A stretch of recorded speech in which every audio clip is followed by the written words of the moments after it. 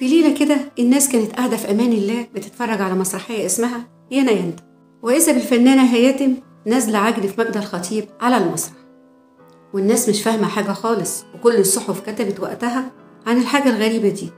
وبعدها بشوية عرفوا إيه اللي حصل من اللي اتكتب في المحاضر. طبعا كل واحدة فيهم عايزة تثبت إنها بريئة. هياتم قالت إن ماجدة كانت شاربة وماجدة قالت إنها اتاكل عليها فلوس وقصة كبيرة. وقالوا في التحقيقات حاجات أصعب بكتير. إيه اللي حصل بالظبط في العرض المسرحي ده؟ وإيه السبب؟ وكمان هنشوف الصورة الوحيدة المتسربة على اللي حصل على المسرح. وكتبت الجرائد هياتم تعطي مجد الخطيب علقة سخنة على المسرح.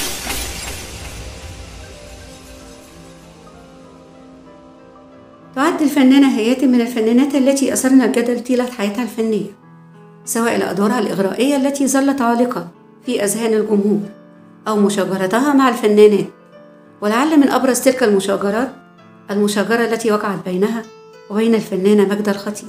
واعتبرت الواقعة من أشهر الخلافات الفنية على المسرح وكانت مسار جدل كبير على صفحات المجلات الفنية. ففي يوم 25 سبتمبر عام 1997 قامت الفنانة الراحلة هياتم بالاعتداء بالضرب على الفنانة الراحلة مجدة الخطيب على خشبة مسرح الرحال. وفور وقوع حادثة الاعتداء قررت الفنانة هياتم فعلتها وقتها بأن السبب هو عدم تقاضيها وحصولها أجرها عن أدائها في المسرحية. وأوضحت هياتم خلال استضافتها في برنامج حوار صريح جدا مع الإعلامية منى الحسيني. قائلة كان شيء سخيف ويكسف. أنا حزينة على الأخلاقيات. انحدرنا لدرجة وحشة. لو في طرف من الأطراف ما عندوش كنترول على تصرفه مش في حالته الطبيعية. ورغم تبرير واعتذار هياتم إلى أن الجمهور سرعان ما هاجمها وتعاطف مع مجدة الخطيب التي تعرضت للعديد من الكدمات في الوجه وأجزاء متفرقة في الجسد علاوة على كسر في أحد ساقيها.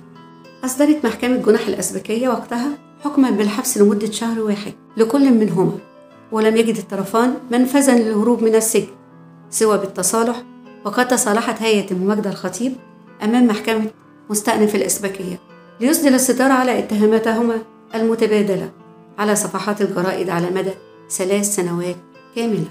وعن رأي الفنانة هيئة في الفنانة مجدة الخطيب قالت علاقتي بيها جميلة وست بحبها وكان صعبان عليا الظروف اللي مرت بيها. كأي ناس زملاء في أي مجال مفيش وجه مقارنة بينا.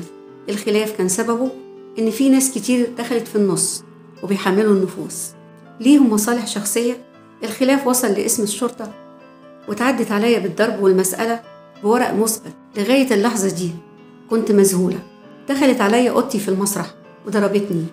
كان في ظابط بيعمل إثبات حالة والأوضة مليانة ناس. وتابعت هياتم جت أوضتي وضربتني على غفلة بالفرشة على راسي وجابت لي ارتجاج وشدت شعري وأنا كنت مذهولة والناس خلصوني منها.